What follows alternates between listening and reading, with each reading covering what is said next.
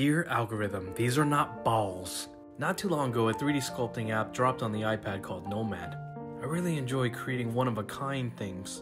I don't sell these because I think everybody's gonna think they're stupid. I know for a fact 100% I can't get a job as a toy designer. All my bosses are gonna shoot down my designs and say they're inappropriate. In fact, ever since I was a little kid, everybody would be like, that's inappropriate.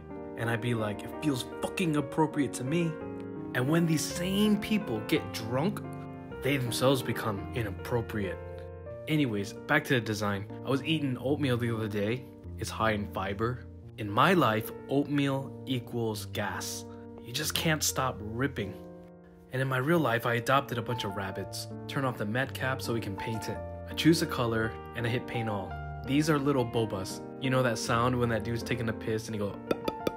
I really love those little cartoons where they're slapping each other's butts, booty hole. Add a little bit of yellow on the ears. I make a lot of designs and a lot of them fail. I'm too close to my own work. I think everything I make sucks. At least I got the idea out of myself. Export this as a GLTF file I'll open up in Blender. All my colors are there, I'll size it up, add lights, camera. I'll render it out and then post these photos online. And my audience will critique this and let me know if they like it or not.